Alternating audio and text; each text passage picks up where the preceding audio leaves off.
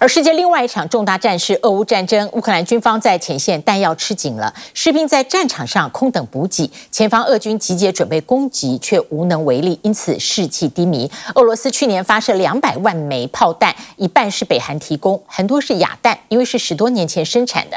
南韩方面分析，北韩将乌克兰当试弹场。测试新炮弹对抗西方武器的能力。乌克兰现在战事不乐观，欧洲人人自危。北约宣布已经做好跟俄罗斯冲突的准备，而美国总统拜登几乎不能放弃乌克兰。在前线的弹药越来越吃紧，美国提供的 M 一零九自走炮战车炮弹夹里空空如也，乌军指挥官只能待坐车内等待补给。We cannot fulfill our tasks 100%, he says, although we really want to. My crew and other crews are just waiting for it and are ready to work around the clock.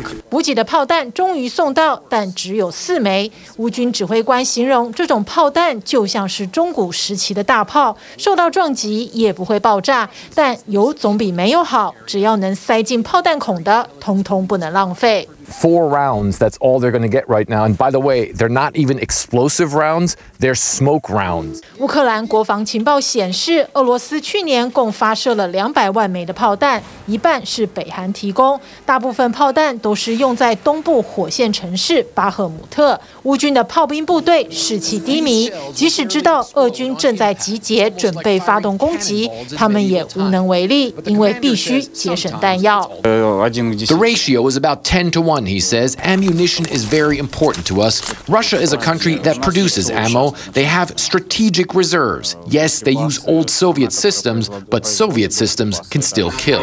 北韩炮弹很多都是哑弹，因为大多是十多年前生产的。南韩官员认为，北韩乐于把乌克兰当成试弹场。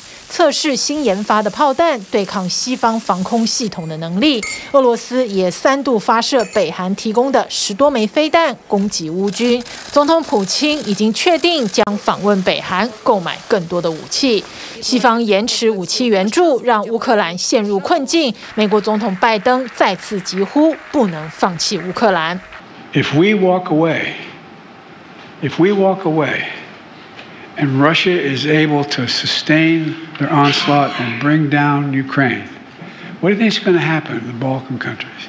There's nothing beyond our capacity. Nothing, nothing, nothing when we've been done together. 乌克兰战争极度仰赖外援， 大批移民海外的乌克兰人在战争期间回到国内从军，或是给予祖国资金上的支持。但乌克兰宪法规定，公民不能有双重国籍。泽伦斯基为了团结国家，推动立法允许双重国籍，包括那些自愿到乌克兰打仗的外国人也可以入乌克兰籍。Іноземні добровольці, які стали на захист України, всі, хто воює за свободу України, як за рідну батьківщину, і Україна стане для них такою.